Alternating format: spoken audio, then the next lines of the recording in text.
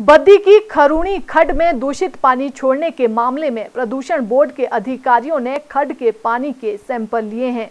स्थानीय लोगों का कहना है कि यहाँ पर टैंकरों के माध्यम से केमिकल युक्त पानी छोड़ा जा रहा है, जिस वजह से खड का पानी जहरीला हो रहा है। सैंपल की रिपोर्ट आने के बाद ही स्थिति स्पष्ट हो पाएगी।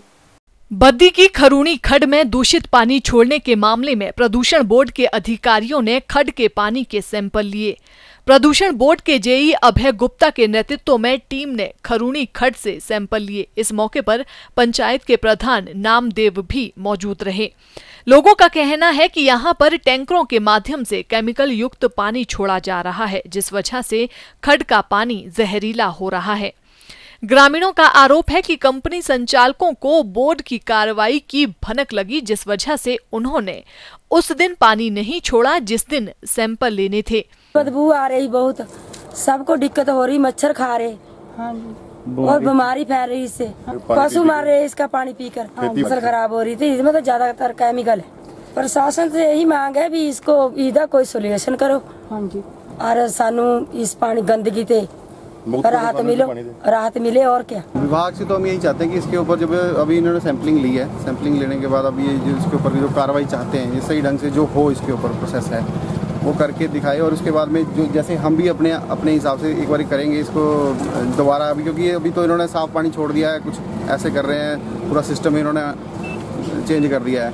तो दो चार दिन बाद, दस दिन बाद, पंद्रह दिन बाद फिर हम लोग इसके ऊपर पूरी निगाह रखेंगे और उसके बाद में विभाग को इसके लिए जानकारी देंगे, दोबारा सैंपलिंग करवाएँगे। सर, ऐसा है, यहाँ पे दो पंचायतों का सेंटर में नाला पड़ता है, सनेट पंचायत और मानपुरा पंचायत का।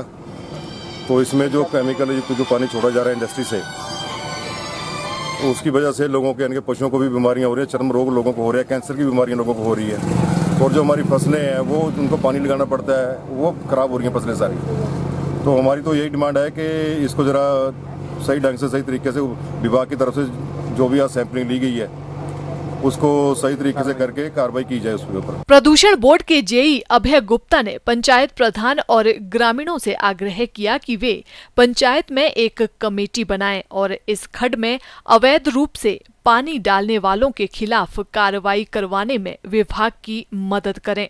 वहीं बीबीएनआईए के प्रधान संजय खुराना ने कहा कि अगर टैंकरों के माध्यम से उद्योग केमिकल युक्त पानी क्षेत्र के नदी नालों में छोड़ रहा है तो ये चिंता का विषय है। उन्होंने कहा कि वे जल्द ही टीसीपी प्रदूषण विभाग बीबीएनडीए व स्थानीय प्रशासन के साथ बैठक कर अवैध रूप से चल रहे इन टैंकरों पर रोक लगाने पर विचार करेंगे। देखिए एक्शन तो बीबीएन नहीं ले सकती, वो बीबीएन सिर्फ़ एक इनिशिएटिव ले सकती है। और जैसे मैंने आपको ऑफलाइन भी बताया कि एक तो मैं सीईओ बीबीएनडीए के माध्यम से इसको रेगुलराइज करने के लिए हम गुजारिश कर सकते हैं, जिसमें कि आरटीओ ऑफ़िस को या एसपी ऑफ़िस को या एसडीएम ऑफ़िस को ओपन करके कि ये जितने भी ये टैंकर्स हैं, इनको पहले तो आइडेंटिफाई करके हम कैसे इनका रजिस्ट्रेशन करा सकें। और दूसरा फिर सवाल ये है कि ये कंपल्सरली जो है, इसको जो भी जहाँ से भी जिस इंडस्ट्री से ये वो उठाएँ एफिलेंट देखिए वैसे तो वो एफिलेंट तो उठा नहीं सकते। उठाना उनको सिर्फ़ सीवरेज ही है अलाउड जहाँ तक मैं समझता हूँ।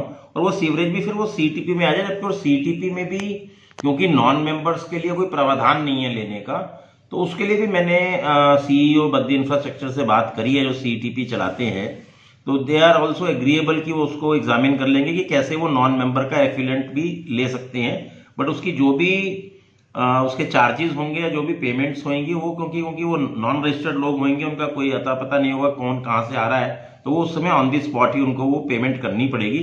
तो इसको थोड़ा सा एग्जामिन करने की ज़रूरत है और इसमें अब पोल्यूशन कंट्रोल बोर्ड के अधिकारियों के साथ भी आ, उनको भी बुला लेंगे उस ज्वाइंट बैठक में कि कैसे हम चार पाँच छः जो भी विंग्स हैं सरकार के वो मिलके इसका कोई समाधान हम कैसे निकाल सकते हैं। प्रदूषण नियंत्रण बोर्ड के एससी प्रवीण गुप्ता ने बताया कि खरूणी खड में केमिकल युक्त पानी छोड़ने के मामले में विभाग ने खड के पानी के सैंपल लिए हैं। उन्होंने कहा कि इसकी रिपोर्ट आने के बाद विभाग द्वारा उचित कार्रवाई अमल में लाई जाएगी। सिटी चैनल के लिए बद्दी से आदित्य चड्ढा की रिपोर्ट।